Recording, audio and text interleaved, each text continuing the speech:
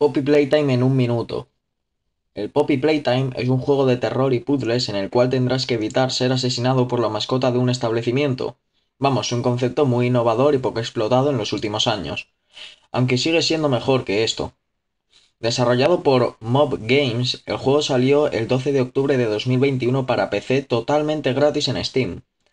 En fin, vamos a hablar del juego. Resulta que eres un ex trabajador de una fábrica de juguetes la cual está abandonada, donde decides ir por un vídeo que has visto en el que sale un tipo que nos resulta bastante familiar. En fin, que al llegar pasas un puzzle de unos trenes y unos colores y obtienes la mano gancho, lo que sería un grapple fusionado con una mano para aumentar la eficacia de los trabajadores en la fábrica.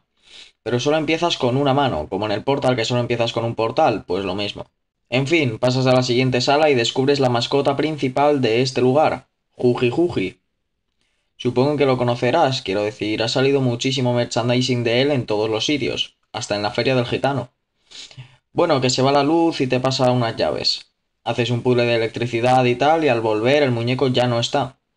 Por cierto, hago un paréntesis para decir que el modelo de este bicho está muy guapo, o sea, mire esos pelos, Dios mío. Tienen pelos. Bueno, que el tío se ha pirado. De hecho, ves su brazo metiéndose por una puerta, muy turbio todo.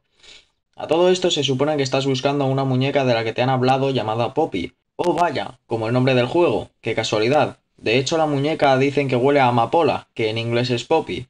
Oh vaya, parece que este es el mundo de las casualidades. Bueno, que te metes a una sala, puzzle por aquí, puzzle por allá y consigues la segunda mano. Y más tarde activas una máquina que parece un tren rarísimo haciendo otro puzzle de electricidad. Y por fin se abre la puerta para que te vayas de ahí. ¿Y a dónde te vas a ir? Pues da igual, porque aparece el Juji Juji y te empieza a perseguir. Ignorando que se ponga a surfear cajas, te metes por un conducto de ventilación y empiezas a escapar pero él te sigue muy de cerca, de hecho está a punto de pillarte varias veces, pero finalmente te metes por un sitio y caes.